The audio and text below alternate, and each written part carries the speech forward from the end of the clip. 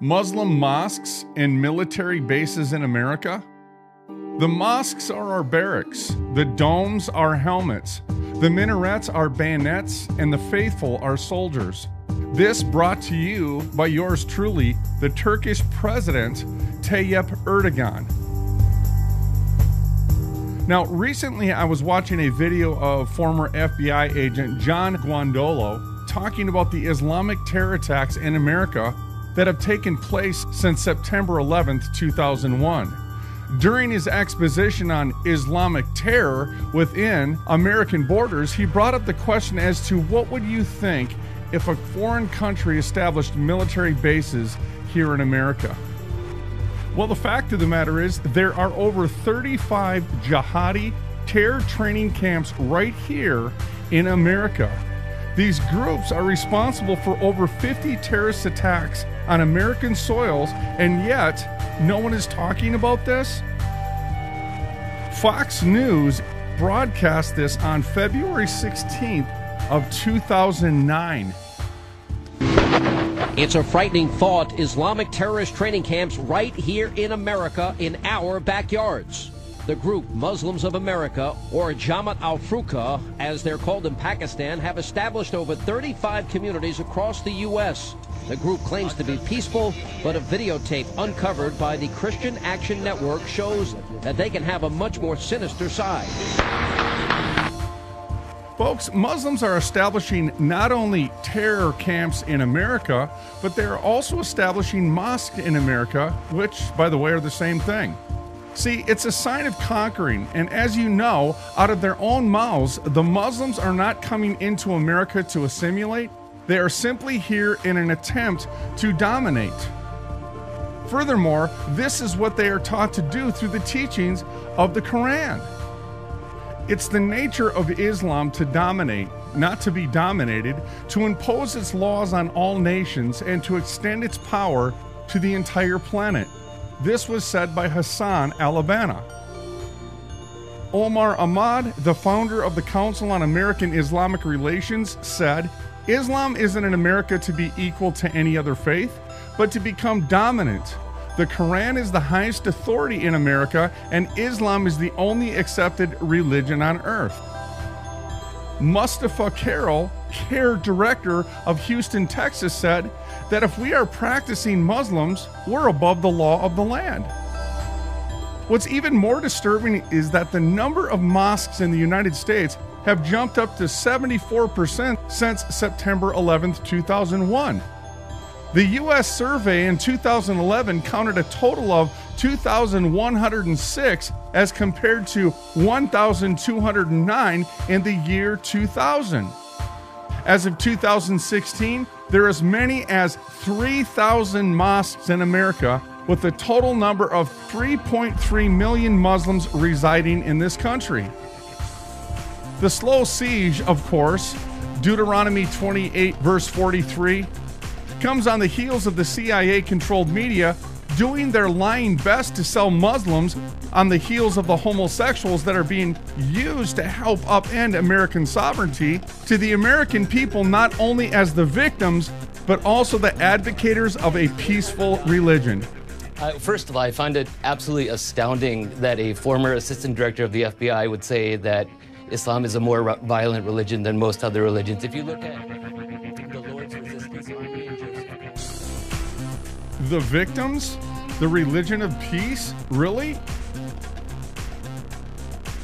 Folks, below are some verses taken directly from their book of peace called the Quran. And slay them whenever you come upon them, and expel them from where they expelled you. Persecution is more grievous than slaying, but fight them not by the holy mosque and tell that they should fight you there. Then, if they fight you, slay them. Such is the recompense of unbelievers. Let not the believers take unbelievers for friends, rather than the believers. For whoso does, that belongs not to God in anything, unless you have a fear of them. God warns you that you beware of them, and unto God is the homecoming. That the Quran commands that you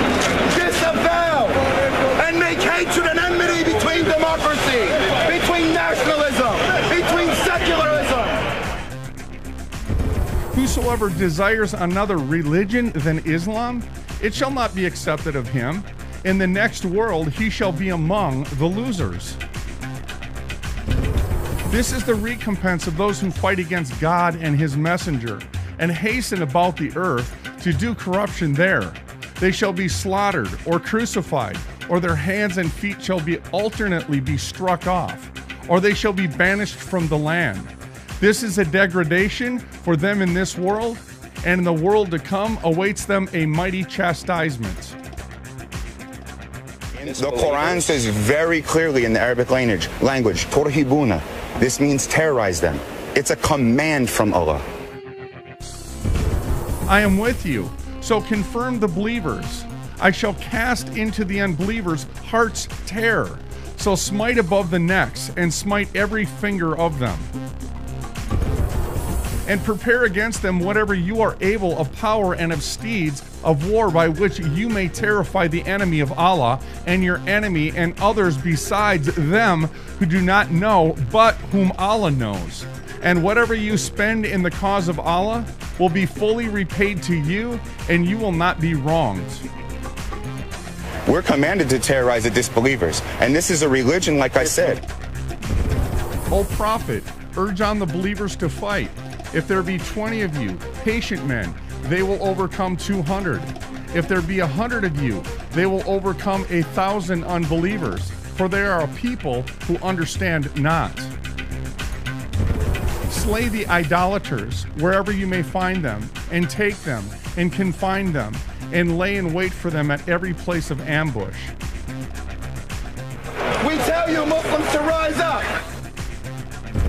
Christians and Jews are perverted. God assail them. Oh, how they are perverted.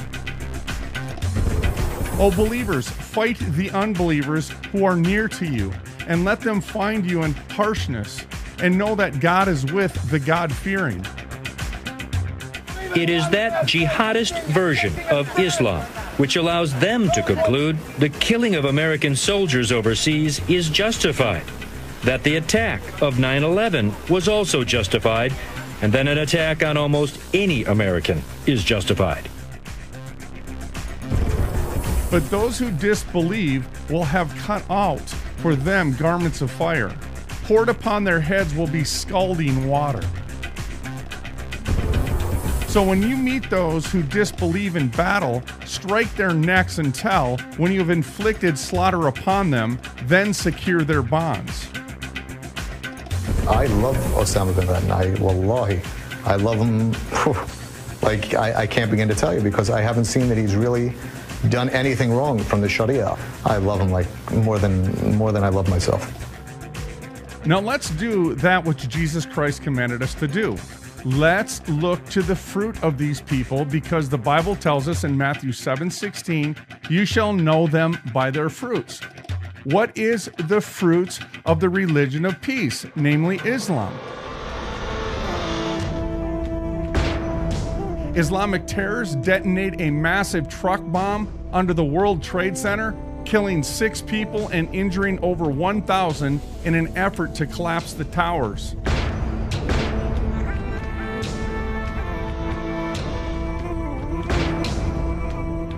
A Muslim psychiatrist guns down 13 unarmed soldiers while yelling praises to Allah.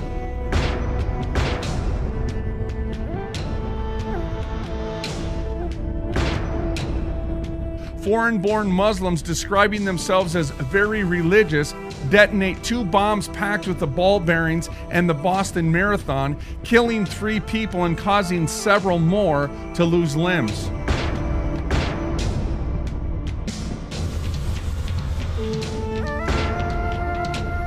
An Islamic extremist massacres 49 people at a gay nightclub.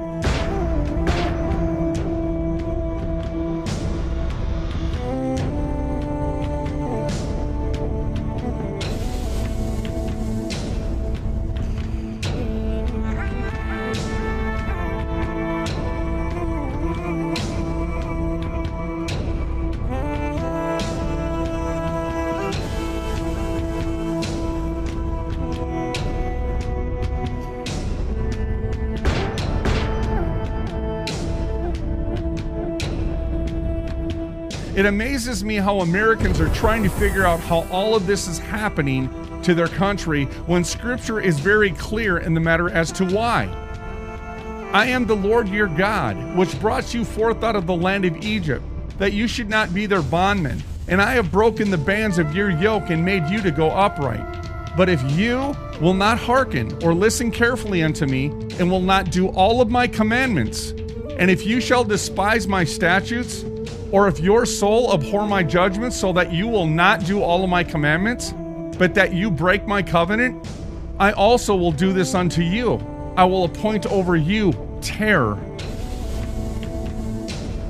On Islam, John Wesley, the former famous field prophet, said ever since the religion of Islam appeared in the world, the espousers of it have been as wolves and tigers to all other nations, rending and tearing all that fell into their merciless paws, and grinding them with their iron teeth. That numberless cities are raised from the foundation, and only their name remaining. That many countries which were once as the garden of God are now a desolate wilderness. And that so many once numerous and powerful nations are vanished from the earth, such was and is at this day the rage, the fury, the revenge of these destroyers of humankind.